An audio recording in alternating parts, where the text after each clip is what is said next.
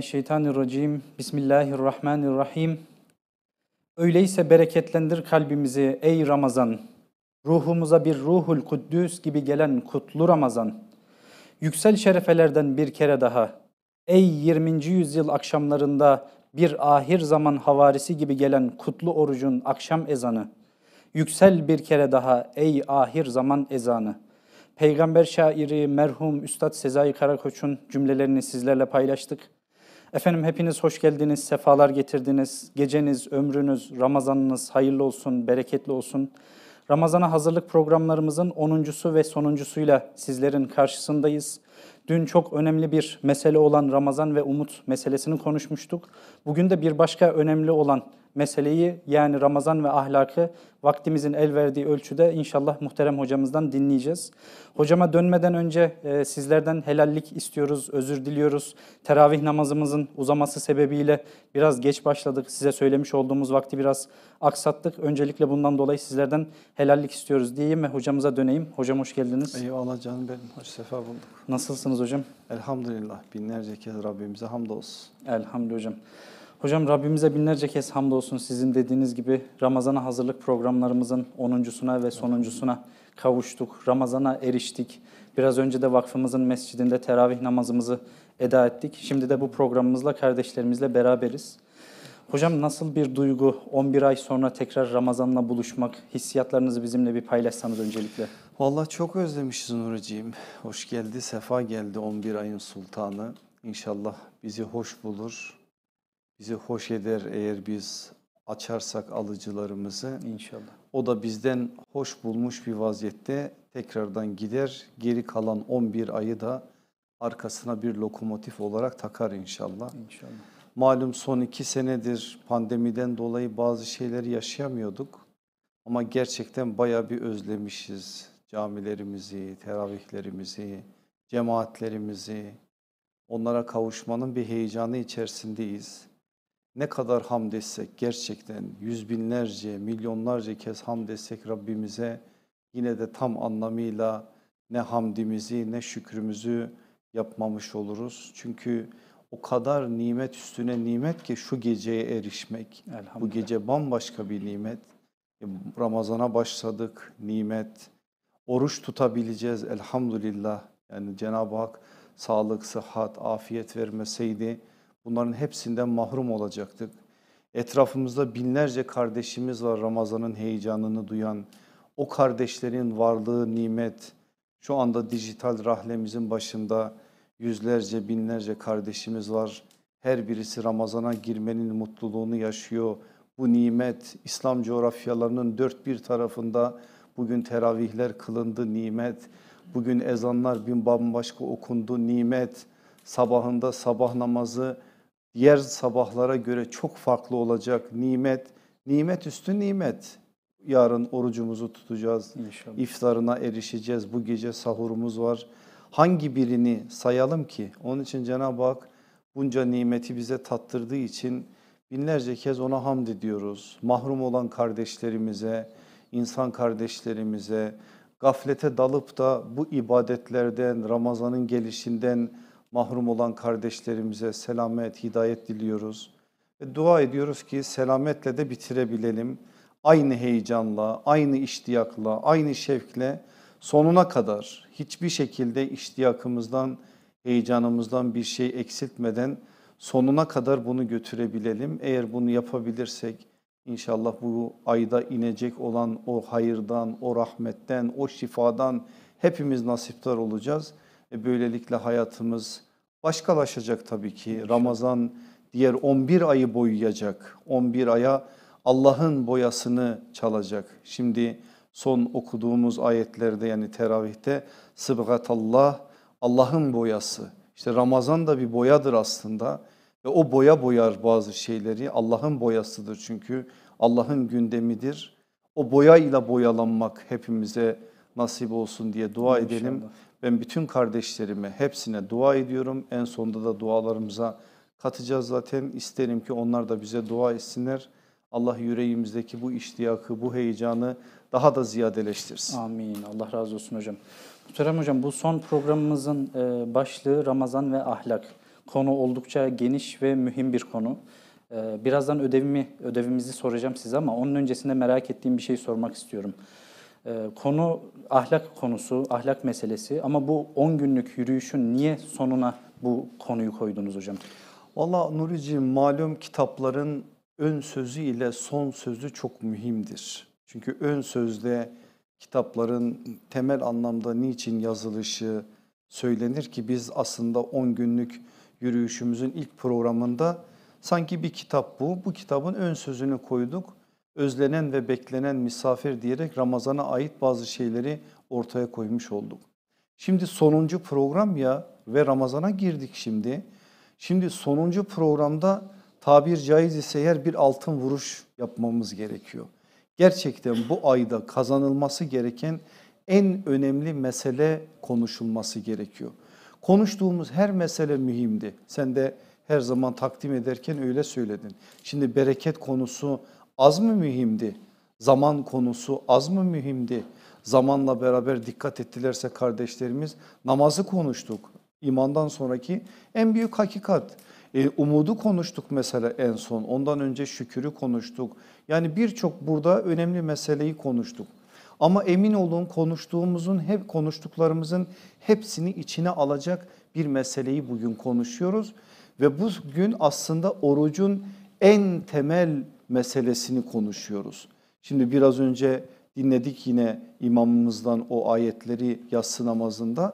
Kutibe aleykumus siyamu kema kutibe alellezine min qablikum leallekum tettekun. Sizden öncekilere oruç farz kılındığı gibi size de farz kılındı. Niçin?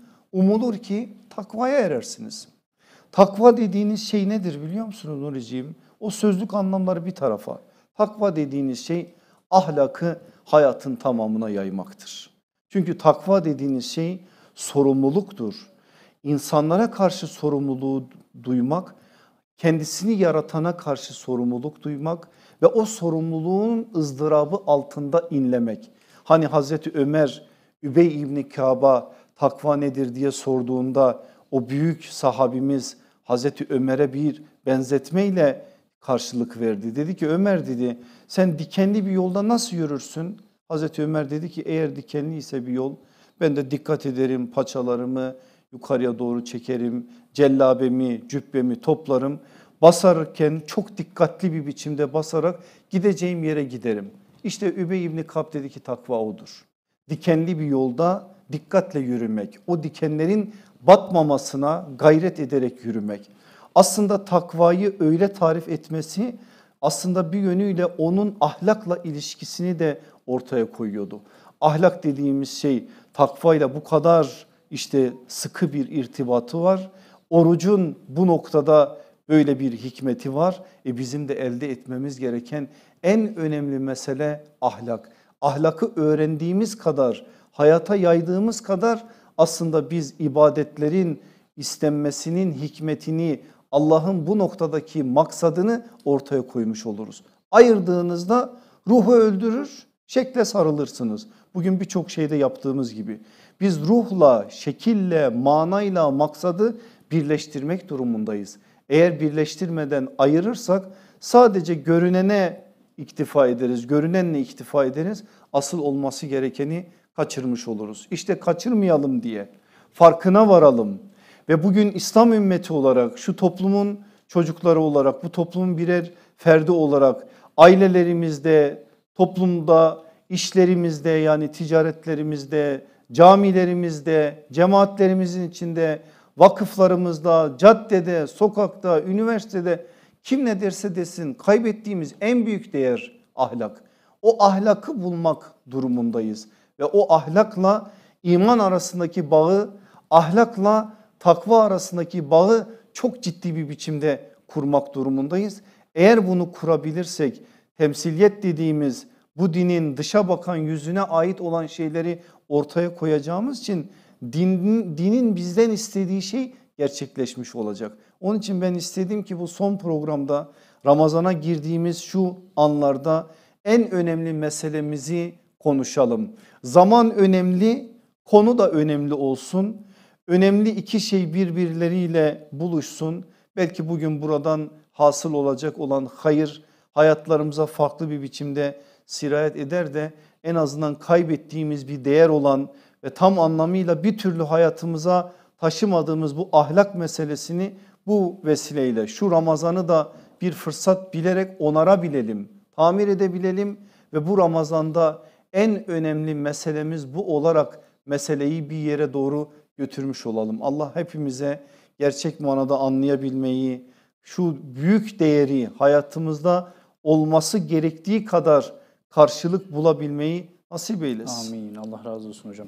Hocam dünkü ödevimize geçecek olursak dün bize şöyle bir ödev verdiniz. Dediniz ki herkes en fazla rahatsız olduğu, beğenmediği bir ahlaki özelliğini eksene koysun. Onu düzeltme adına kararlar alsın, adımlar atsın. Bu ödev hakkında siz neler söylersiniz hocam? Valla o ödevin üç tane temel maksadı var Nuriciğim. İnşallah kardeşlerim fark etmişlerdir. Bu maksatlardan bir tanesi şu. Biz eğer kendi ahlaki anlamdaki zafiyetimizden rahatsız olmaksa olmazsak düzeltemeyiz. Bakın önce rahatsız olduğumuz dedik değil mi? Bende var ya o özellik var ama ben rahatsızım. Öfke var mesela bende rahatsızım. Gıybet etmiyorum ama gıybet dinliyorum mesela rahatsızım. Dilimin ayarı yok. Bazen o dilimdeki ayarsızlık farklı şeylere sebebiyet veriyor rahatsızım. Eğer rahatsızsam düzeltebilirim. Onun için önce o özelliğimden her neyse o ahlaki özelliğim ondan rahatsız olmam gerekiyor. Eğer bunu yapmazsam var ya mesela bazen genç arkadaşlarımız hocam gençtik işte gençlikten bak ne yaptı aslında rahatsız değil. Ne yapayım ya sinirlenince kendimi tutamıyorum. Ya erkek adam işte biraz sinirli olacak tabii falan. Bir sürü şey söylüyoruz. O bahaneleri dizdiğimiz andan itibaren bizim iyileşebilmemiz mümkün değil. Eğer bende bir hata varsa o hatadan ciddi bir biçimde ben rahatsız duymalıyım. Öyle yarım ağızla falan değil. Kardeşlerimin kusuruna kusuruma bakmasınlar bu ifademden, ifademden dolayı. Bir hata ettim değil mi? İnsanların içinde değil ya. Çekildim bir kenara. Kendi kendime ulan eşek diyeceğim kendime ki ıslah edebileyim. Ulan sen ne biçim adamsın. Hem insanlara bir şeyler söylüyorsun hem o senin hayatında yok. İnsanlara konuşunca şöyle söylüyorsun sen onu kendi hayatına taşıyamıyorsun. Kendi nefsini kınamayan nefsindeki o zafiyeti giderme adına böyle bir şeyi yapmayan bir insanın iyileşebilmesi mümkün değil. Bakın bugün yarım ağızlarla tevbe ettiğimiz için tevbenin tadına varamıyoruz. Ya tam edilir tevbe. Böyle boyun bükülür, acziyet ortaya konur. Varsa bir kötülük mesela bir eksiklik kimin yok Allah aşkına ya? Kimin yok? Kimin yok mesela? Herkesin var, hepimizin var. Ben birkaç tanesini sayayım. Kardeşlerim de, beni dinleyenler de bizde var mı yok mu bir baksınlar. Mesela kimde tembellik yok şu anda Nuriciğim? Bir hastalık ya bu. Ben bu hastalıktan kurtulmam gerekiyor. Ramazan da bunun için bir fırsat değil mi? Kimde taassup yok mesela? İnandığımız değerlere karşı hamiyet duymak ayrı bir şey. Kafamızda ön yargı oluşturduğumuz şeylere karşı taassup duymak o ayrı bir şey. Bunların ayrılması lazım ve bugün bizdeki hamiyet değil birçok alanda taassup aslında ve bu taassuptan benim rahatsız olmam lazım ki iyileştirebileyim. Tiryakilik, bağımlılık bir sürü şeye sayabiliriz bir sürü şeye. İnşallah bu kadar bu sözleri söyledik mesela bu kardeşlerimize herhalde bir medya, sosyal medya orucu da tutacaklardır kardeşlerimiz. Yani bu noktada ne yapıyorlarsa, ne kadar zamanlarını ayırıyorlarsa bu işe bu Ramazan'da biraz daha farklı bir biçimde bu olması gerekecek. Tutkuculuk mesela, ölçüsüz sevgi. Sevdiğimizi putlaştırmak kim olursa bu fark etmez. Bir hocayı seviyorsun o kusursuz. Bir siyasi lideri seviyorsun kusursuz. Bir aile büyüğünü seviyorsun kusursuz. Hiçbir kusuru yok onun. Her şeyi güzel, her şeyi doğru. Ya böyle bir şey yok ki. Masumiyet zırhı kime giydiriyorsun sen? Eğer sen gerçekten bunu anlasan, sevgi meselesinde dengeyi anlasan bunların hiçbir tanesi olmayacak. Tatminsizlik mesela. Hiçbir şeyden tatmin olmamak. Her şeye karşı farklı bir tavır sergilemek. Bunlar hastalıklar bakın ve bu hastalıklara hepimiz şöyle ya da böyle bir şekliyle bulaşabiliyoruz. Hayır diyememe hastalığı var mesela bazı kardeşlerimizde. Yüzü tutmuyor, hayır diyemiyor. Kırmayayım diyor, hayır diyemiyor. Her hayır diyememe de ona başka başka günahlar işlettiriyor. Allah korusun bakın hayır diyemediği için yalan söylüyor çoğu. Ya bu hayır diyememe bir hastalıktır. Giderilmesi lazım. Eğer bunda benim bir zafiyetim varsa tespit edilmeli ve giderilmeli. Öfke kontrolü mesela. Şimdi inşallah görmeyeceğiz bu Ramazan'da. Ama diyelim ki trafikte nelere şahit oluyoruz mesela. Ufacık bir şey olsun ailede çıldırıyor, çıldırıyor. Kadın, erkek fark etmez, çocuk, genç fark etmez. Farklı bir biçimde öfke meselesinde başka boyutlara geliyoruz. Bu bir rahatsızlık ve bundan ben eğer rahatsız olarak bunu ortaya koyup giderme adına adım atmayacaksam o zaman ahlak meselesi bende nereye nerede duracak? Diyelim ki gıybet etme veya dinleme. Bazıları ediyor, bazıları da hem ediyor hem dinliyor. Bazıları da sadece dinliyor. Bunların hepsi hastalık ve ben bunlardan rahatsızlık duymam gerekiyor. Küçük, orta, büyük yalanlar. Yalan böyle isimlendirir mi bilmiyorum ama genel anlamda yalana dilimizi alıştırırken hep küçük yalanlarla ya bundan bir şey olmaz dediğimiz yalanlarla başlıyoruz. Ondan sonra bir bakıyorsun çok daha farklı noktalara doğru geliyor. Haksızlık karşısında tepkisizlik mesela bu bir hastalıktır.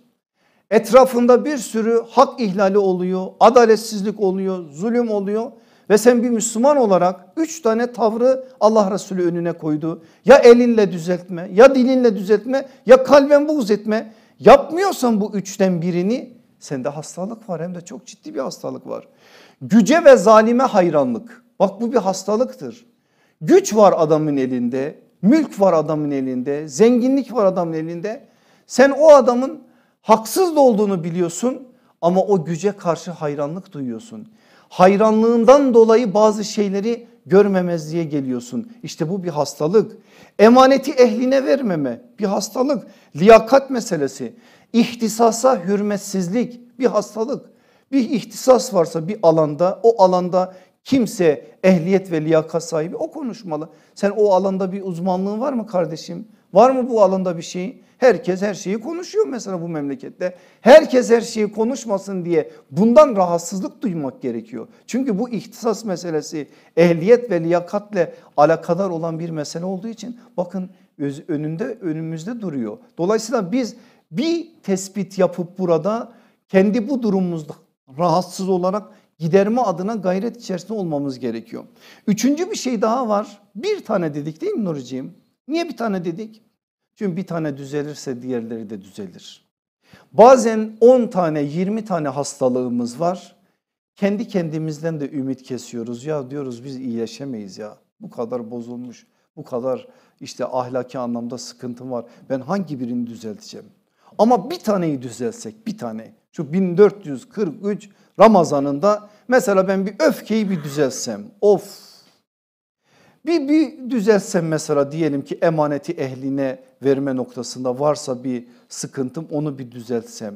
Adalet meselesini bir düzeltsem. Bir tane düzelince o dişliler yerine oturacak aslında. Ve farkında olacağız ya da olmayacağız. Diğerleri de arkasından gelecek. Çünkü değişeceğimize inanacağız. Demek ki değişebiliyormuşum. Demek ki ben eğer kendimi terbiye edersem bazı şeyler düzeliyormuş diyeceğiz kendimizin değişmesinin mutluluğunu yüreğimizde duyduğumuz için o zaman biz diğer taraflarını da düzeltmiş olacağız. İnşallah. Onun için kardeşlerimden hassaten ben bunu istiyorum. Bir tane tespit etsinler bir tane. En rahatsız oldukları şey neyse onu tespit etsinler. Bana sorma hocam sen ne yaptın diye. Ben de tespit ettim benim de var çünkü. Ben de bir taneyi bu sene daha fazla üzerinde durarak onu düzeltme adına bir cehde gireceğim. Zaten ben kardeşlerime yapmadığım bir şey söylemem. Yapacağım, yapabileceğim şeyleri söylüyorum. Onun için kardeşlerim de özellikle bu noktada bir tanesini tespit edip onu giderme adına şu 30 günlük güzel bir fırsatı iyi değerlendirirlerse Allah'ın izniyle arkası da onun arkasına dizilerek gelecektir inşallah. İnşallah hocam Allah razı olsun. Hocam kavramların İslam'ı anlama ve yaşama noktasında ne kadar önemli olduğunu biz hep sizden duyuyoruz. Bu programlar vesilesiyle de iyice öğrenmiş olduk. E, ahlak kavramı da ne yazık ki tam manasıyla anlaşılmamış bir e, kavram. Biz evet. ahlak deyince tam olarak ne anlamalıyız?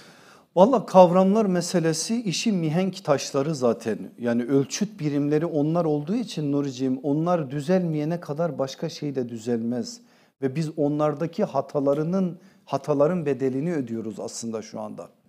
En ciddi problemlerin yaşandığı kavramlardan bir tanesidir ahlak kavramı.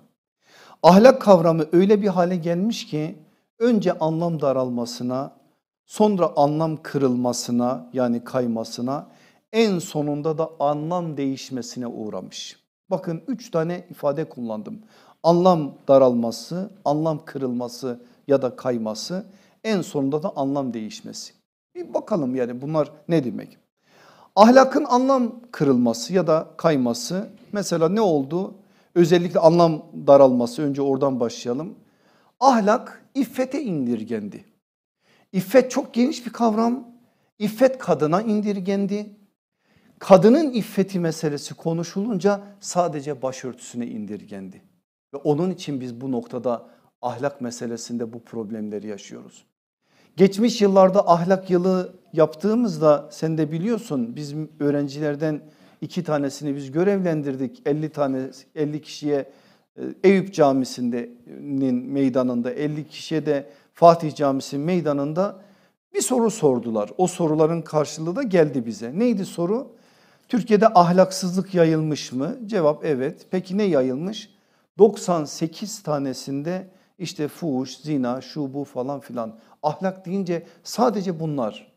Bunlar var evet ahlakın içerisinde bu var ama sadece bu değil ki. Siz eğer ahlakı belli alana sıkıştırırsanız o zaman geri kalan birçok şeyi mesela rüşveti, mesela adam kayırmayı, mesela emanete riayet etmemeyi, mesela hak hukuk meselesini, mesela torpili, mesela şunu bunu saymazsınız. Dersiniz ki tamam ben ahlakı yapıyorum. Bütününden ayırdınız çünkü. Ama ahlak bu değil. Onun için ahlakın anlam daralmasına uğraması inanın ki bir cinayet ve bu yaşandı. Ah, ahlakın anlam kırılmasına ya da kaymasına uğraması ne oldu mesela? Özellikle Emevilerden sonraki süreçte yöneticilerin baskılarından dolayı ahlak belli bir alana doğru çekildi. Tekkelere, zaviyelere, dergahlara zühd ile girdi. Onun için o yıllarda yazılan ahlak kitaplarında sosyal ahlaka ait şey yoktur. Hep ferdi ahlak nazarlara verilir. Ama İslam sadece bir alana konuşmaz ya. Bütün alanlara konuşur. Dolayısıyla o yıllarda yaşanan sıkıntılar sonraki süreçlerde de çok farklı bir biçimde acı acı faturalarla bize geldi. En son ahlakın değişmesi, anlam değişmesi ve hayattan çekilmesine gelince mesela bunu da çok derin bir biçimde yaşıyoruz. Herkes yapıyor diyorlar. Herkes yapıyor. Kardeşim bunu niye yapıyorsun? E herkes yapıyor. Çünkü herkes yaptığı zaman sanki meşruiyet kazanıyormuş gibi. Herkes yaptığı zaman sanki ben de yapabilirmişim gibi bir izlenime insanı uyandırıyor ya da bir düşünceye insanı sevk ediyor. Yanlışlığına bakmadan, doğruluğuna bakmadan umum öyle yapıyorsa, çoğunluk öyle yapıyorsa uydum kalabalığa ben de öyle yaparsam bu noktada bir şeyler yapmış olurum noktasına geliyor. Dolayısıyla bizim bir kere ahlak kavramını bu üç tane sıkıntıdan kurtarmamız gerekiyor. O zaman biz ahlak deyince ne anlayacağız? Bakın ahlak kelimesinin kökeni asıl geldiği mana biliyorsunuz hulk ya da huluk. Seciye, tabiat, huy manasında işte ya huluktan ya da çoğulu huluktan geliyor.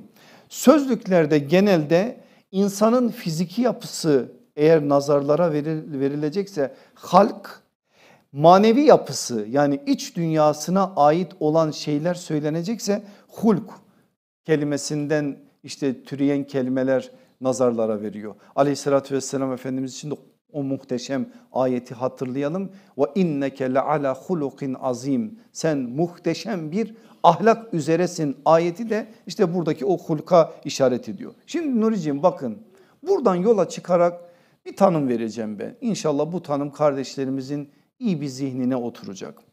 Kişinin düşünce, duygu ve davranışlarında yaratılışa o ney? Fıtrat fıtrata göre davranmasına ahlak diyoruz. Tarif bu aslında. Sıralamaya da dikkat etmek lazım. Geçmiş derslerde buna ait bir şeyler söyledik biliyorsun. Kişinin düşünce, duygu ve davranışlarında sadece bakın davranış değil, sadece duygu değil, düşünceden başlatarak düşünce, duygu ve davranışlarında Allah'ın programı olan, Allah'ın insana program olarak kodladığı fıtrata göre yani yaratılışa göre davranmanın adına biz ahlak diyoruz. Şimdi böyle dediğimiz zaman ahlak bir yere sıkışmıyor. Ne geliyor hayatınızda aklınızda ne geliyorsa ahlak her tarafa dokunan bir kavrama dönüşüyor. Nefis ve şahsiyete dokunuyor mu? En başta oraya dokunuyor zaten. Haneye ve meskenete dokunuyor mu? Evlerinize, ailelerinize, akrabalarınıza, sılay rahime dokunuyor mu? Dokunuyor. Camiye ve cemaate dokunuyor mu? Dokunuyor. Bakın en ciddi ahlaki zafiyetler yaşadığımız yerlerdir aslında bu alanlar. Niye? Çünkü sanki orada olmasa da olur gibi anlaşılıyor. Aslında bu din camiye nasıl gireceğimizi bile bize öğretiyor. Camide ne yapacağımızı öğretiyor. Camide safta birbirlerimize karşı muamellerimize karşı bir şeyler öğretiyor. O saf düzeninin bize verdiği mesajlar var. Onu nasıl dışarıya taşıyacağımızı öğretiyor. İmamla, cemaatle nasıl bir münasebet kuracağımıza ait onlarca şeyi öğretiyor. Aslında ahlak öğretiyor. Dolayısıyla ahlak cami ve cemaate ait de bir sürü şey söylüyor. İş ve ticarete eğer ahlak iş ve ticarete dokunmuyorsa ticaretini Müslümanca yapan ve ahlaki ilkelere bağlı olarak yapan bir insanla böyle bir ilkesi hayatında olmayan birisi arasında bir fark yoksa o zaman ahlakı nereye koyduk biz? Bütün bunlarla beraber idare ve siyasete de ahlak bir şey söylüyor mu? Tabii ki söylüyor. Bu din böyle bir dindir. Kim bu dini belli bir alana sıkıştırıyorsa o bu dini anlamamış demektir. Bu din öyle bir din ki böyle başından sonuna kadar fertten devlete kadar her yere dokunur. Her yere dokunduğu için zaten adı İslam'dır. Adı Darusselam'a bizi götürecek en önemli yoldur. Siz onu bir alana sıkıştırdığınızda İslam'ı aslında asıl mesajından koparmış oluyorsunuz. Dolayısıyla biz ahlakı böyle anlayalım ve ondan sonra sorgulayalım. Nefsimizden başlayarak etrafımızda varabileceğimiz her yere doğru sorgulayalım. Nerede nasıl bir zafiyet yaşanıyorsa, nerede Müslümanca davranamıyorsak, nerede Müslümanca konuşamıyorsak, nerede duygularımız Müslümanca hareket etmiyorsa, nerede düşünce dünyamızda Müslümanca olması gerektiğinden farklı bir biçimde kaymalar varsa yani Müslümanca düşünemiyorsak oraları düzeltelim. Valla düzelteceğimiz çok şey var Nuri'ciğim. Eğer bu konuda Ramazan bize şifa olacaksa valla ellerimizi açıp Allah'a şöyle bir dua edelim. Allah'ım şu alanda bize şifa ver ya. Şu Amin. alanda bize şifa ver. Ahlak meselesinde bize şifa versen ya Rab. Öyle bir düzeliriz ki senin inayetin, senin nüsretine valla muhtacız. Eğer Rabbimiz bu alanda bize yardım eder de şu Ramazan'ı iyi bir değerlendirirsek Allah'ın izniyle farklı bir biçimde çıkmış oluruz. İnşallah hocam. Hocam Efendimiz Aleyhisselatü Vesselam'ın ahlak eğitimi dediğimizde çok ama çok şey söylenir. Siz evet. daha iyi bilirsiniz. Ee, ama yine de böyle biraz da olsa bir, bize bahsetseniz Efendimiz Aleyhisselatü Vesselam ahlak eğitimini nereden başlattı, nasıl devam ettirdi? Valla muhteşem bir hadis o kadar kısa ama o kadar geniş, o kadar büyük mesajlar veriyor ki Nuri'ciğim. Ne diyor Aleyhisselatü Vesselam Efendimiz? Ben güzel ahlakı tamamlamak için gönderildim. Şu cümle inanın ki kardeşlerim mübalağa saymasın 10 ders konusudur. 10 ders şu cümle şu ben güzel ahlakı tamamlamak için gönderildim. Allah Resulü bu hadisiyle ne diyor biliyor musunuz? Risaletinin gayesini nazarlarımıza veriyor. Risaletinin en büyük hedefini bizim nazarlarımıza veriyor ve Resulün kendisinin en önemli özelliğini ortaya koyuyor. Bir hadis bakın neleri söyledi. Risaletin gayesi neymiş? Ahlakı tamamlamak. Risaletin en büyük hedefine ahlaklı bir toplum oluşturmak. Resulün en önemli özelliğine üstün ahlaki vasıflara sahip olmak. Biz bu hadisten bu üç tane şeyi öğreniriz. Bu her öğrendiğimiz bir şeyde bize bir sürü, bir sürü şey söylüyor. Mesela olayın bir başka boyutuna baksak ben güzel ahlakı tamamlamak için gönderildim. Ne dedi biliyor musunuz aleyhissalatü vesselam Efendimiz? Güzel ahlakın kaynağı din değil fıtrat ve vicdandır dedi. Ben size güzel ahlak getirdim demiyor. Cahiliyenin o zifiri karanlığının zeminine Allah Resulü bunu söylüyor. Ben güzel ahlakı tamamlamak için gönderildim. Çünkü cahiliyede de olsa güzel ahlak var. Bugün Müslüman değil güzel ahlak yok mu? Ahlaka ait güzellikler bazılarının hayatında yok mu? Başka bir din mensubu mesela Yahudidir, Hristiyandır, ateisttir, deisttir.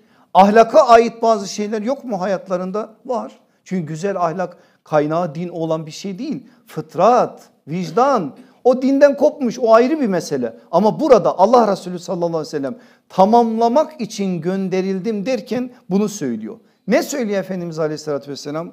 Güzel ahlak benimle başlayan bir şey değil ama benimle tamamlanacak bir şey. Ne diyor aleyhissalatü vesselam Efendimiz? Güzel ahlak ancak ve ancak din ile İslam'la tamamlanacak bir şey. Kemale erebilmesi için İslam lazım. İslam olmazsa eğer ahlak kemale ermez. Allah Resulü de bunu söyledi. Tamamlamak için gönderildim dedi. Şimdi Nuriciğim sana mühim bir soru soracağım. Bak kardeşlerim de iyice bir dikkat etsinler bu soruya. Ahlakı tamamlamak için gönderilen bir peygamber. Canlarımız onun yoluna kurban olsun. Eğer ahlakı tam olarak anlamasaydı, ahlakı tam olarak kavramasaydı, ahlakı tam olarak yaşamasaydı, ahlakı tam olarak anlatmasaydı, ahlakı tam olarak muhataplarının anlamasını sağlamasaydı ahlakı tamamlayabilir miydi? Niye bugün biz bir şeyleri yapamıyoruz? Bilmem anlaşılabildi mi? Ümmeti Muhammed ya ahlakı anlamadı, kavramadı, gerçekten kavrayamadı. Bak bu tanım meselesini biraz önce ben kısaca bir şeyler söyledim ama üzerinde durduğumuzda o kavram meselesinde ne kadar ciddi ciddi problemler yaşadığımız ortada. Ahlakı yaşamadık, yaşayamadık, temsil edemedik. Ahlakı anlatamadık insanlara da ve ahlakı muhatapların anlayabileceği şekilde onların dünyasına da koyamadık. E nasıl biz bu dini anlatacağız Allah aşkına ya? Durup ciddi ciddi bunu düşünmemiz lazım. Allah Resulü sallallahu aleyhi ve sellem bunu yaptı. Yaptığı için Mekke'de o zor şartlarda Darul Erkam diye bir ahlak medresesi kurdu. Vallahi ona çok rahat bir biçimde öyle bir şey söyleyebiliriz. Bir ahlak medresesi kurdu ve orada o zifiri karanlıktan ahlaklı insanlar yetiştirdi. Ahlaklı insanlar oradan çıkarttı. Şimdi genelde biz ahlak meselesini konuştuğumuzda bak hepimiz bütün arkadaşlarımız da kardeşlerimiz de şunu diyecekler. E hocam iyi hoş da ya camileri görüyorsun, sokağı görüyorsun, caddeyi görüyorsun. Hele sosyal medyayı, hele sanal alemi, hele interneti görüyorsun. Geliyor çocuk üniversiteye gidiyor, üniversiteyi görüyorsun. Biz nasıl kendimizi muhafaza edeceğiz? Bu bir bahane, bu bir bahane. Evet çok zor bir durumda olduğumuzu ben de biliyorum ama ne olursa olsun Allah Resulü sallallahu aleyhi ve sellem hiçbir ahlaki ilkenin korunmadığı, yerle bir edildiği, birçok şekilde güçlünün haklı gözüktüğü, asla mazlumun hakkının teslim edilmediği, temsil edilmediği bir zeminde o karanlık zamanda ve zeminde yetiştirdiyse bunları ama bu bilinçle yetiştirdiyse vallahi biz de yaparız. Hele sen bir kendini düzelt. Hele ben bir kendimi düzelteyim. Bakalım oluyor mu olmuyor mu? Allah Resulü sallallahu aleyhi ve sellem bu bilinçle yaptı. Peki ne yaptı? Ferdi ahlakı tesis ederek şahsiyetleri inşa etti. Ailevi ahlakı tesis ederek haneleri inşa etti. Sosyal ahlakı tesis ederek toplumu inşa etti.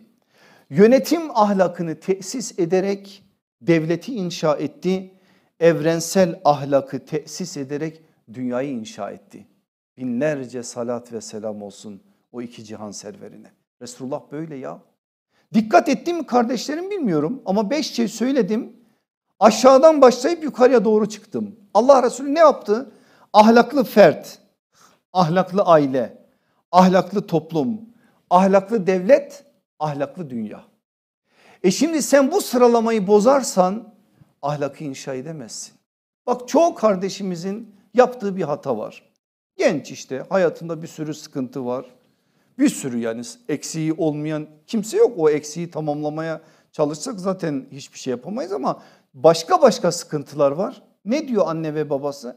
Evlendirelim düzelir. Yani evlenme hokus pokus ya yani bir girdiğimiz zaten evli olarak çıkacak oradan öyle zannediliyor. Evlenince düzelir mantığıyla bugün bakın bir sürü büyümemiş çocuk evlendiriliyor. Fiziksel olarak büyümüş olsa bile akli olarak büyümemiş olan çocuklar evleniyorlar ve yuvalar yıkılıyor. Kardeşim önce bir adamın şahsiyeti inşa olsun ya. Bu adam şahsiyeti inşa olmadan sen nasıl bir başkasının sorumluluğunu, bir evin sorumluluğunu buna vermiş oluyorsun? Bizde bir bulug var, o fiziksel olgunluktur. Bir de rüşt var, rüşt. Rüşt ne? Akli olgunluk. Bazen o rüşte 30 yaşındaki adam eremiyor ya, eremiyor. 30 yaşında ama çocuk yani, 40 yaşında çocuk. Yok mu etrafımızda? E bir sürü var. İşte aleyhissalatü vesselam Efendimiz önce ne yapıyor? Önce ferti eğitiyor. Şahsiyet eğitiyor. Sonra haneler, aileler eğitiliyor. Çünkü o şahsiyetli e, insanların oluşturduğu yuvalarda hanelerde, evlerde şahsiyetli oluyor. E evler böyle olunca topluma zaten sirayet eder. Şimdi kızıyoruz sosyal medyada işte kızıyoruz sanal dünyaya işte televizyona şuna buna. Ya bizim evlerimizin yansıması orası. Evlerimizin yansıması. E kızıyorsun devlete, yönetime kızıyorsun. İlke belli. Nasılsan öyle idare olunursun. Sen iyi misin yani? İyi misin? Adil misin? Gerçekten hakkaniyetle davranıyor musun? Gerçekten bu noktada hak hukuk meselesi sende iyi bir noktada mı? Eğer böyleyse zaten o noktada yönetimde düzelecek. Ama sen bunu yapmadan yukarıdan beklemek, bunu yapmadan dünyanın bugün ümmeti Muhammed'in mesela kaliteli olmasını bekleyen bir sürü genç var e, etrafımızda daha çok beklerler.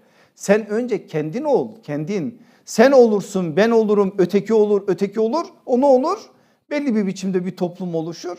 Toplum iyi olursa Allah da bize iyi birini getirir başımıza. O iyi olan da bizim imamımız olur. E böylelikle özlediğimiz o noktaya da iş varmış olur. Ama bunu yapmazsak eğer sadece ahlakın dedikodusunu yaparız. Şimdi Nuriciğim çok geniş bir mesele bu. Şimdi kardeşlerimiz sahura kalkacaklar.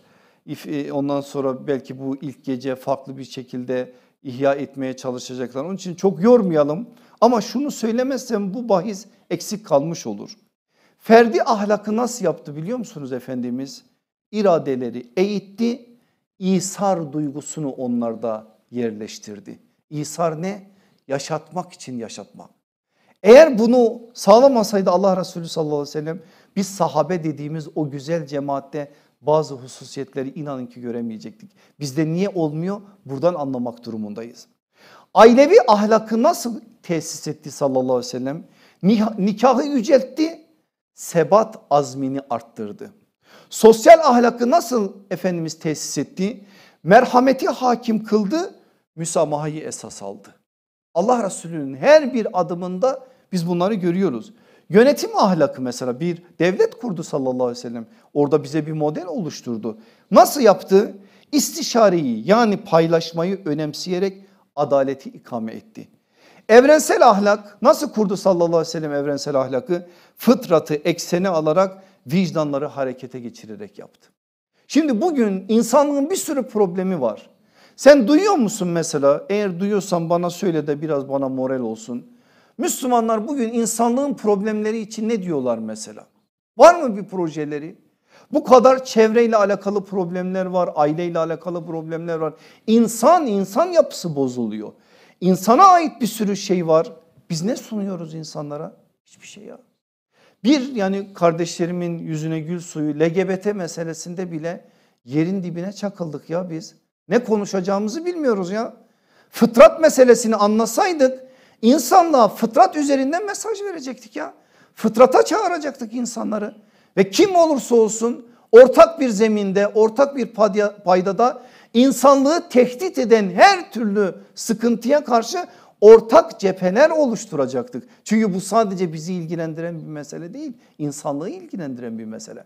Allah Resulü bu ufuktaydı ya miladi 6. asırda o Mekke'de Medine'de bu ufukta verdi mesajı. Durup durup bizim düşünmemiz lazım Nuriciğim ya. Veda haccında Allah Resulü'nün karşısında Müslümanlar yok mu? Müslüman olmayan giremiyor zaten oraya. Müslümanlar var sayıları da 124 bini geçmiş. Allah Resulü ne diyor? Ya eyyühellezine amenu mu diyor? Yok ne diyor? Ya eyyühen nas diyor. Ay sana kurban olalım ya Resulallah. Bir seni anlayabilsek var ya bir seni anlayabilsek ya. Niye ey, ey insanlar dedi ya? Niye insanlar dedi?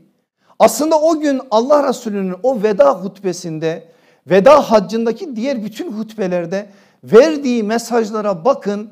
Mesajlarının büyük bir kısmı insanlığın dertleriyle alakalıdır. Çünkü o gün orada aslında Allah Resulü insanlığın onurunu koruma adına, onurunu muhafaza etme adına bize bir şeyler söylüyor. Ama daralttığımız için, anlayamadığımız için, hapsettiğimiz için belli başlı birkaç meseleyi meselenin özü olarak anlayıp geri kalan her şeye kapımızı kapattığımız için anlayamıyoruz. İşte bunları anlama adına aslında bir imkan ve fırsat. Eğer Allah Resulü'nün eğitimini anlarsak ahlak eğitimini onun üzerinden çok çok şey anlamış oluruz. İnşallah hocam Allah razı olsun. Hocam Ramazan ve ahlak eğitimi konusu hakkında bize neler söylersiniz? Ramazan'ın böyle bir imkanı olduğunu da söylediniz. Biz Ramazan'da neler yaparsak, nelere dikkat edersek bu ahlakı Ramazan vesilesiyle kazanmış oluruz. Çok şey söyleriz Nuriciğim burada ama Ramazan'ın en önemli ibadeti oruç ya. Oruç ahlak ilişkisi aslında konuşulması gerekir, gereken. Oruç işte aç kalarak bedenin o noktadaki işte tahakkümünü ruhun üzerinden kaldırma adına bir ameli ya, ameliye ya yani ruhun bedene zaferi ya işte Aliya'nın ifadesiyle o ruhun bedene zaferini sağladığımız zaman da ahlaka ait olan şeyleri anlamış oluyoruz. İmam Gazali bakın buradan yola çıkarak üç derece oruç var diyor işte avamın orucu var, havasın orucu var, havasul havasın orucu var diyor. Avamın orucu işte bizim diyeceğim ama bazı kardeşlerimize haksızlık olmasın. Sadece organların orucu. Yani aç susuz kalmak. E bir de nefsi cinsel arzulardan korumak. Orucun en bilinen şeyi bu ya. Bu avam orucu. Eğer sadece bununla tutuluyorsa. Havasın orucu onlarla beraber bir de organların orucudur. Göze oruç tutturmak, kulağa oruç tutturmak, ağza oruç tutturmak, ele oruç tutturmak. Bunları yapabilmek havasın orucu. Bir de havasul havas var daha üstler. Onlar da düşünceye, kalbe oruç tutturmak. Zor olan bu ama bu da bir hedef. Hadi bu zor, gerçekten zor. Ya diğeri havasın orucu ya hepimizin kuşanması gereken bir oruç olmalı. Çünkü oruç bunun için zaten bize söyleniyor. Eğer biz bunu yapmazsak o zaman sadece işte şekle mahkum etmiş oluruz, indirgemiş oluruz. Şimdi bakın aleyhissalatü vesselam Efendimiz'den birkaç tane hadis okuyalım. Efendimiz Bukhari'de, Müslim'de başka hadisle kaynaklarında geçen o muhteşem hadisinde oruç kalkandır diyor. Kalkan çok muhteşem bir ifade. Biriniz oruçlu iken çirkin, kötü ve kaba söz söylemesin. Bağırıp çağırmasın, kavga etmesin. Birisi kendisine söver ya da çatışırsa, çatarsa ona ben oruçluyum desin. Allah Resulü bak bize bir şey söylüyor. Evet yeme, yemeyip içmediğiniz zaman orucunuz maddi anlamda yerine gelmiş oluyor. Ama Allah Resulü'nün bize gösterdiği şey bu. Diyor ki Efendimiz Bukhari'nin savun babındaki bir hadis bu. Kim yalan sözü ve yalan ile iş yapmayı bırakmazsa Allah'ın onun yemesini ve içmesini terk etmesine ihtiyacı yoktur diyor. Durup bu hadisler üzerinde bizim ciddi ciddi durmamız lazım. Bak oruç ne getiriyormuş bize? Oruç ahlak getiriyor aslında. İbn Mace'de geçen bir hadis. Nice oruç tutanlar vardır ki oruç onların oruçtan nasipleri sadece aç ve susuz kalmalarıdır. Nice geceleri namaz kılanlar vardır ki onların nasipleri de sadece uykusuz kalmaktadır. E ne diyor Allah Resulü sallallahu aleyhi ve sellem? Ya midenize tutturuyorsunuz şu orucu gözünüze de tutturun ya. Gözünüzün bir ayarlarını düzeltin ya. E kulağınıza da tutturun ya. Dinlediğiniz şeylere dikkat edin ya. Bir yerde eğer Allah'ın hoşlanmadığı bir şey varsa kapatmayı bil bu kulağını. Orayı terk etmeyi bil. Bunu yaptığın zaman o orucun aslında lezzetine varmış oluyorsun. E dil en önemli mesele değil mi? O meseleye ait bazı şeyleri de ortaya koymamız gerekmiyor mu? Bakın ilginç bir hadis bir rivayeti ben kardeşlerimle paylaşayım bu vesileyle. Ebul Bahteri radıyallahu anh rivayet ediyor. Medine'de biraz gıybet noktasında ileri düzeyde olan bir hanım bu özelliğiyle de biliniyor. Hem gıybet ediyor hem nafile oruç tutuyor. Nafile oruç tutmuş Resulullah'ı ziyarete gelmiş. Allah Resulü de o hanımın bu özelliğini biliyor. Hanımın oruçlu olduğunu bilmesine rağmen Resulullah ne diyor biliyor musunuz? Artık kimin evindeyse diyelim ki Ayşe anamızın. Ayşe falanca hanıma yemek getir. Hanım diyor ki ben oruçluyum ya Resulallah. Allah Resulü diyor ki sen değilsin. Hanım akıllı akıllı anında anlıyor çıkıp gidiyor. Biraz halini ahvalini düzeltiyor. Ya ertesi gün ya birkaç gün sonra bir daha geliyor. Allah Resulü sallallahu aleyhi ve sellem yine ona diyor ki yemek ikram edin hanıma. Hanım diyor ki ya Resulallah oruçluyum. Allah Resulü diyor ki sen oruçlu değilsin. Ya bu bizi titretmeli ya vallahi titretmeli. Gidiyor o hanım iyice o gıybet meselesinden kendini arındırıyor. Bu bilgi Resulullah'a da geliyor. Hanım bir daha geliyor. Allah Resulü sallallahu aleyhi ve sellem yine ona yemek ikram etmek istiyor. Hanım diyor ki oruçluyum. Allah Resulü diyor ki evet oruçlusun. Orucu oldu şimdi.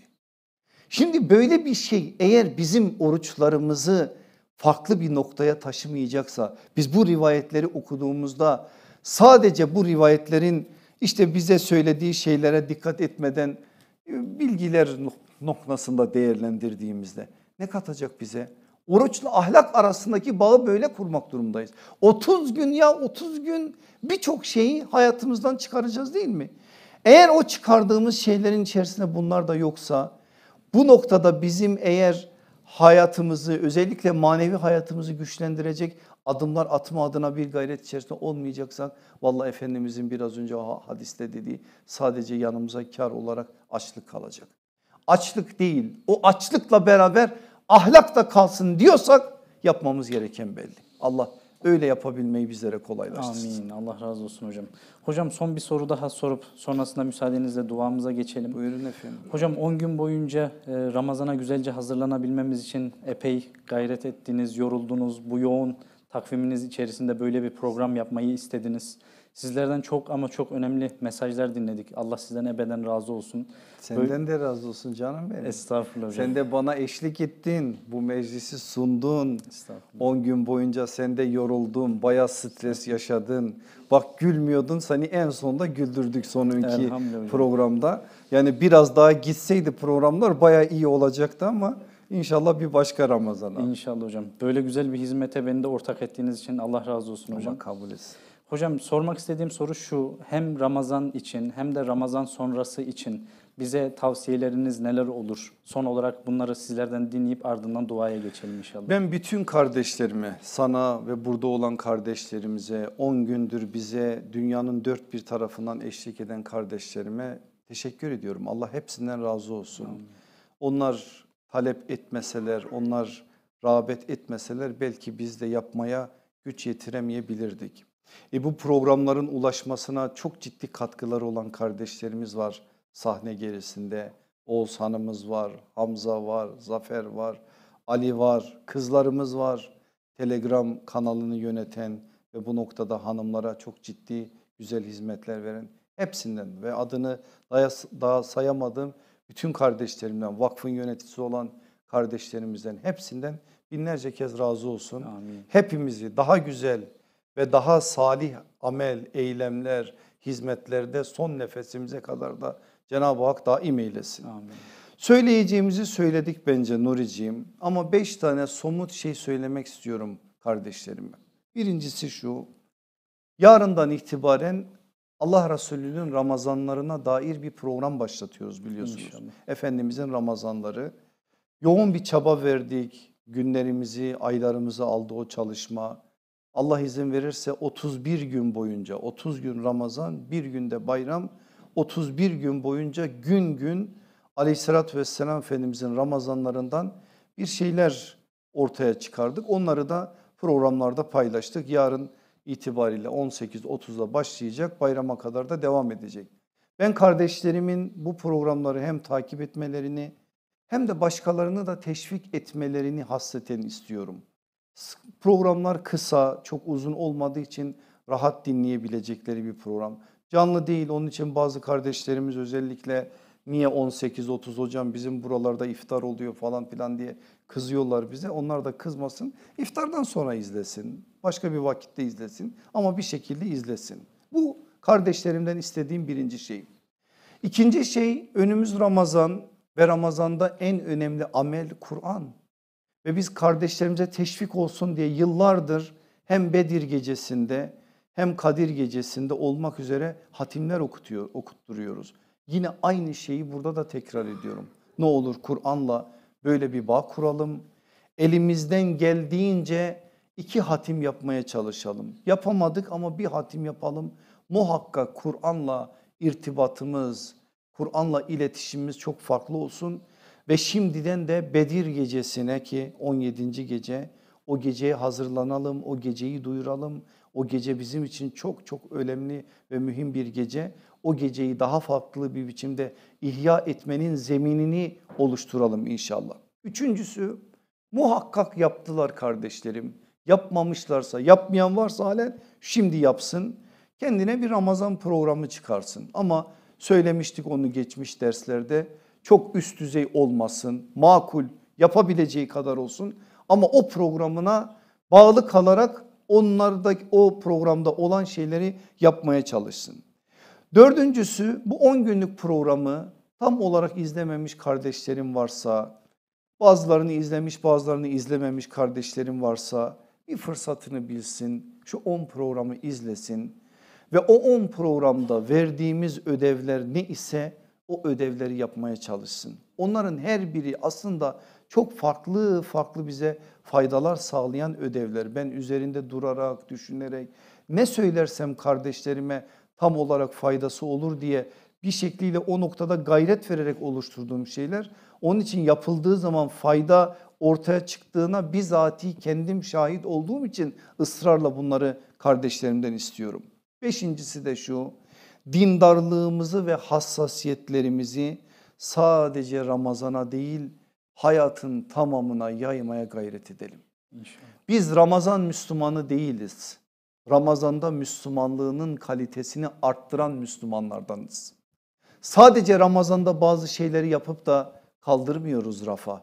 Aslında Ramazanda eksiklerimizi tamamlıyoruz. Yenileniyoruz, heyecan alıyoruz, fer alıyoruz, nefes alıyoruz. Farklı bir biçimde varsa işte bize ihtiyaç olan onları alıyoruz. Yeniden ayağa kalkıyoruz ki diğer aylara taşıyabilelim. Çünkü ölüm bize gelinceye kadar mükellef olduğumuz bir kulluk var. Bu kulluğu ortaya koyma gayreti içerisindeyiz. Hal böyle olunca Ramazan'ı da böyle ihya edip buradan da güzellikleri Şevval'e ve diğer aylara taşıma adına gayret içerisinde olmak durumdayız. İnşallah. Allah hepimizi bu uğurda gayret içerisinde olanlardan eylesin. Ramazanımızı şimdiden mübarek eylesin. Gümbür gümbür son nefesimize kadar güzellikle ihya edebilmeyi de bizlere kolaylaştırsın. Amin. Allah razı olsun hocam. Hocam şimdi yapacağınız duamıza onlarca hatim, yüzlerce, binlerce kısa sure, İhlas suresi, Yasin suresi, Vaka suresi, Nebe suresi, Milk suresi geldi. Onun haricinde e, binlerce kelimeyi e, kelime-i tevhid, Evet. salavat-ı şerife geldi. Bize gelen gelmeyen hepsi Rabbimizce malumdur zaten. Eyvallah. İnşallah bunun üzerinden duamızı yapalım müsaadenizle. Buyurun o zaman hep beraber o duamızı yapalım ama bir şeyi söyleyerek ben duaya geçeyim. Bu gece çok mühim bir gece Nuriciğim. Ben şimdi yapacağım dua artık hissiyatım ne kadarına e, müsaade edecekse.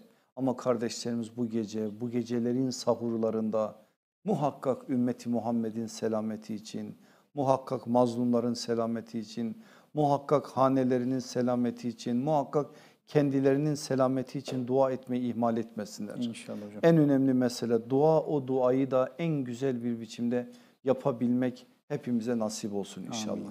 Amin. Elhamdülillahi Rabbil alemin ve salatu ve selamu ala Resulina Muhammedin ve ala alihi ve ashabihi ve etbahi ecmain. Allahümme Rabbena ya Rabbena takabbel minna inneke entes semiyul alim. Ve tub aleyna ya Mevlana inneke entet tevvabur rahim. Vahdina ila hakkı ve ila tariqin mustakim vafana ya kerim.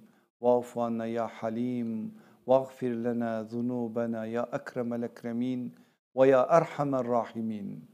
Allah'ım şu gelen Ramazan'ı hakkıyla ihya edebilmeyi bizlere kolaylaştır. Ey Ramazan'ın Rabbi, ey bu güzel nimeti bize ulaştıran Rabbimiz. Ne olur bizlerin ellerinden tut ki senin seveceğin, beğeneceğin, tenezzül buyurabileceğin bir Ramazan yapabilelim, ihya edebilelim. Eğer ellerimizi tutmazsan Allah'ım biz yarı yollarda kalırız. Çok aciziz, çok eksiklerimiz var, noksanlarımız var, sıkıntılarımız var. O kadar zayıfız ki çok çabuk yoruluyoruz. Çok çabuk heyecanlarımız tükeniyor. Çok çabuk morallerimiz bozuluyor. Şeytan da bu halimizden istifade ederek bizi yarı yollarda bırakıyor. Bizi eriştirdin Ramazan'a, yardımını da üzerimizden eksik eyleme ki şu Ramazan'ı hakkıyla ihya edelim ya Rabbi.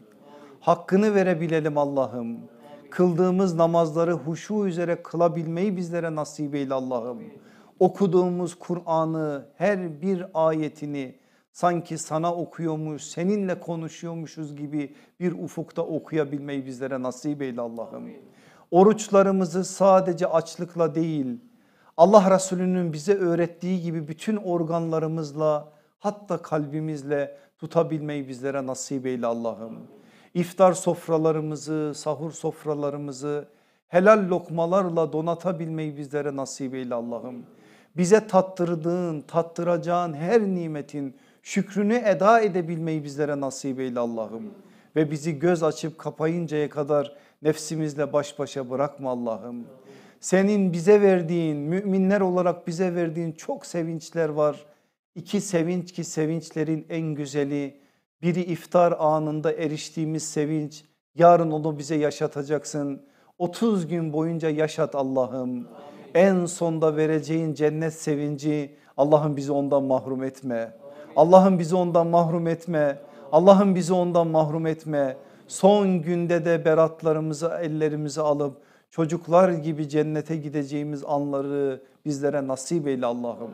Şu güzel zamanlarda şu Ramazan'ın ilk gecesinde senin peygamberinin icabet saatleri diye bize tarif ettiği şu anlarda biz ailelerimizin ıslahı kalitesi için senden yardım istiyoruz. Allah'ım ehli imanın bütün evlerine saadet nasip eyle. Huzursuzlukları kaldır Allah'ım. Şu Ramazan'ı dertlerimize şifa vesilesi kıl Allah'ım. Hastalıklarımızı giderici kıl Allah'ım.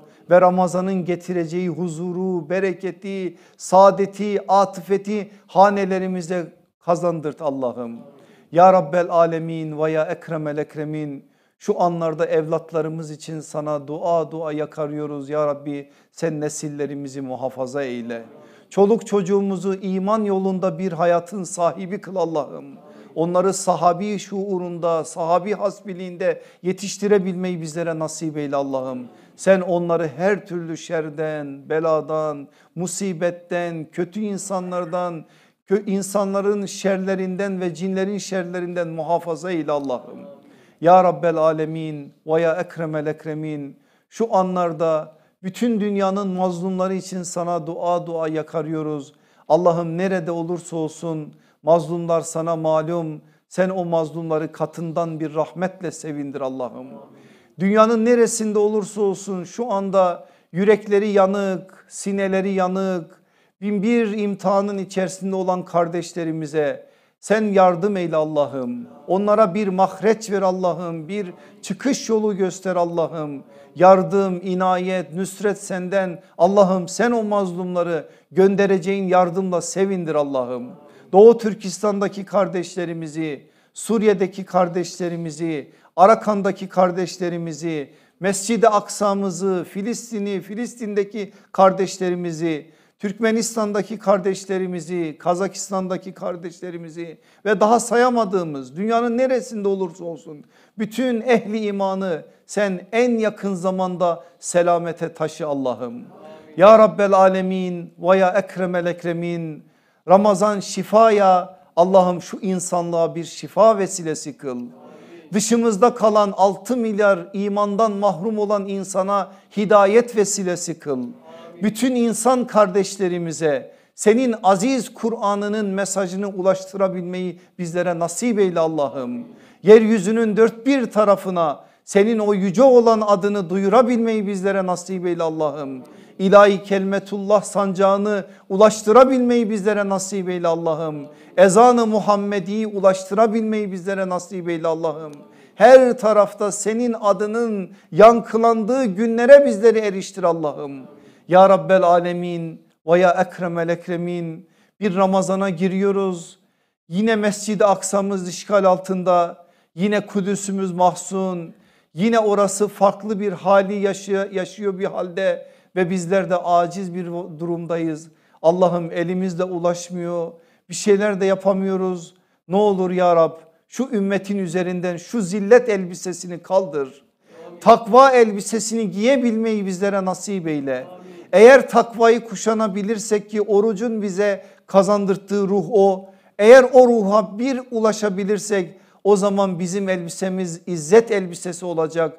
O zaman aziz olacağız ve aziz kulların olarak yeryüzünde izzetli kullar olarak senin ahkamını hakim kılacağız. Allah'ım bize bunu nasip eyle. Bizi ahlakı en güzel olan kullarından eyle. Kur'an'ın ahlakına bizleri eriştir Allah'ım. Kur'an'ın ahlakıyla ahlaklanabilmeyi bizlere kolaylaştır Allah'ım. Senin ahkamınla amel etmeyi bizlere kolaylaştır Allah'ım. Ya Rabbel Alemin ve ya Ekremel Ekremin şu icabet saatlerinde şu güzel anlarda şu memleketimiz için şu güzel yurdumuz için sana ellerimizi açtık. Allah'ım şu memlekete sen iman selameti ver. Bu memleketi her türlü şerden beladan muhafaza eyle Allah'ım. Memleketin her bir insanının yüreğine iman tohumunun ekilmesini sağla Allah'ım. Bizi de bunun için kullan Allah'ım. Hiçbir ehli imanın evinde senin razı olmadığın bir hayat ortaya çıkmasın Allah'ım. Ne olur ya Rabbi Ramazan'ı bunun için bir şifa vesilesi kıl bizlere. Ve o şifayla hem nefsi olarak hem ferd olarak hem aile olarak hem toplum olarak hem memleket olarak hem ümmet olarak dirilebilmeyi bizlere nasip eyle Allah'ım. Dirilt bizleri Allah'ım şu Ramazan'la. Dirilt bizleri Allah'ım şu Ramazan'la. Şu Ramazan'la bizi ayağa kaldır Allah'ım. Sonuna kadar heyecanlarımızı daim eyle Allah'ım. İştiyaklarımızı arttır Allah'ım. Heyecanlarımızı ziyadeleştir Allah'ım. Gün geçtikçe daha da artacak bir heyecana, bir iştiyaka bizi ulaştır Allah'ım. Ya Rabbel Alemin ve ya Ekremel Ekremin kardeşlerimizin okuduğu onlarca hatimler var. Onlarca süreyi celileler var. Onlarca yüzlerce binlerce kelime-i tevhid var. Allah'ım her kim ne niyetle okumuşsa sana malum. Allah'ım sen kim hayır adına bir niyetle okumuşsa onların niyetlerini kabul eyle. Kardeşlerimizin hatimlerini Kur'an'ı onlara şifa vesilesi kılacak şekilde kabul eyle. Bizleri Kur'an'dan ayırma Allah'ım. Doymayalım Allah'ım Kur'an okumaya. Doymayalım Allah'ım senin senin kelamını dinlemeye. Senin kelamına aşık olabilecek bir seviye bizi vardır Allah'ım. Kelamullah duyunca böyle yürekleri titreyen, kalpleri titreyen, hissiyatı coşan o bahtiyar kullarından eyle Allah'ım. Nice zamandır kalplerimiz katılaştı, hissiyatlarımız köreldi, kalplerimiz artık ürpermiyor. Haşyet duygularımız zedelendi. Allah'ım Ramazan geldi Ramazan. Ne olur şu Ramazanda yüreklerimizin ta derinliklerinden bir feryatla senin kelamını dinleyebilmek bizlere nasip olsun Allah'ım. Musaflarımız şahitlerimiz olsun Allah'ım. O musaflara akıttığımız gözyaşlarımız şahitlerimiz olsun Allah'ım. Senin o gözyaşları döktüğümüz zaman onlarla bize cehennem azabını haram kıldığına dair peygamberinin buyruğuna bizleri ulaştır Allah'ım. Her akıttığımız damlayla günahlarımızı da bizden akıttır Allah'ım. Ve en son Ramazan'ın nihayetine erdiğimizde analarımızdan doğduğumuz gibi tertemiz olabilmeyi bizlere nasip eyle Allah'ım. Ya Rabbel Alemin ve ya Ekremel Ekremin şu anda kardeşlerimiz içerisinde ehli imanın içerisinde bir sürü hasta kardeşimiz var. Allah'ım hastalarımıza şifalar ihsan eyle. Şafi sensin Allah'ım. Şifa senden Allah'ım. Vesileleri biz kullanıyoruz. Sebepleri kullanıyoruz. Ama şifayı verecek olan sensin Allah'ım. Ne olur sevdiklerimize şifalar ver Allah'ım. Kardeşlerimize şifalar ver Allah'ım. Hocalarımıza şifalar ver Allah'ım. Ehli imanın her bir hasta ferdini şu Ramazan'da sevindir Allah'ım. Ramazan'da indireceğin şifayla sevindir Allah'ım. Allah'ım yakın bir zamanda ve geçmiş zamanlarda sana yolcu ettiğimiz bütün ehli imana rahmet eyle. Bizi de iman üzere bir hayatın sahibi eyle Allah'ım. Son nefesimize kadar iman üzere bir hayatın sahibi kıl bizleri Allah'ım. Dualarımızı kabul eyle, günahlarımızı affeyle. Hoş gelen Ramazan'ı hoş ederek yolcu etmeyi bizlere kolaylaştır Allah'ım. Ve sallallahu ala seyyidina Muhammedin ve ala ali seyyidina Muhammed ve ahire davana enilhamdülillahi rabbil alemin. El Fatiha. Allah Resulü sallallahu aleyhi ve sellemin gelişini hasretle beklediği Ramazan ayı geliyor. Peki Efendimiz sallallahu aleyhi ve sellem Ramazan aylarını nasıl geçirirdi? Efendimizin Ramazan aylarında Kur'an-ı Kerim'le münasebeti, teravih namazları, Ramazan gazveleri, Mekke fethi, itikafları ve nice önemli konuyu öğreneceğimiz, gün gün takip edeceğimiz Efendimizin Ramazanları programlarımız başlıyor.